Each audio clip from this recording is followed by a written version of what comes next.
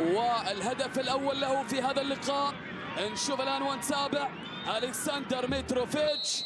ألكسندر متروفيتش يحاول الآن متروفيتش.